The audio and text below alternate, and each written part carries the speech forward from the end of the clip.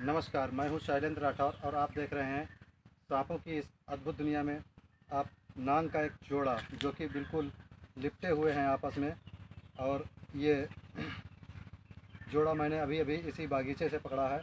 जैसा कि आप देख रहे हैं, ये बहुत ही फुर्तीले और तेज़ तर्रार हैं। मैं इनके बारे में बताना चाहूँगा कि ये बहुत ही विषैली प्रजाति के नांग हैं और ये बहुत ही तीव्र धावक भी होते हैं। बड़ी तेज़ दौड़ कर काटते हैं ये। और साथ ही इनका जो भोजन होता है, वो इन बागीचों में मिलने वाले चूहे, मेढक, छिपकली आदि होते हैं। और ये सामान्य रूप से तो बहुत ही विषैले होते हैं। इनसे हमेशा दूर ही रहना चाहिए। और ये किस तरह से दौड़ते हैं, क्या करते हैं, देखिएगा।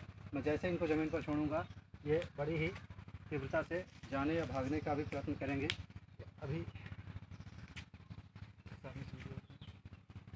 देखिएगा, ये मुझे काटने के लिए अब प्रेरित हो रहे हैं या काटने के प्रयास कर रहे हैं। ये अद्भुत जोड़ा।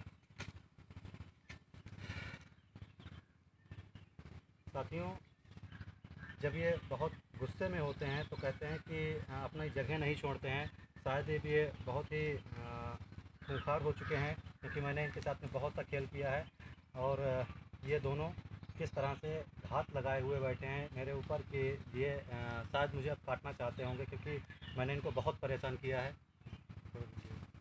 मैं आपको इनकी पहचान बताता हूँ कि जिसका ये फन थोड़ा सा गोल और ये जो ज़्यादा उठी हुई है, ये नागिन है। जिसका जिसके जो फन होता है, उस पर जो ब्लैक के साथ में वाइट स्पॉट नहीं होते हैं, वो नागिन होती है, जबकि पीछे जो फन किए हुए बैठा है, उसका फन अपेक्षाकृत इससे कुछ ज़्यादा चौड़ा है और लंबाई में भी है।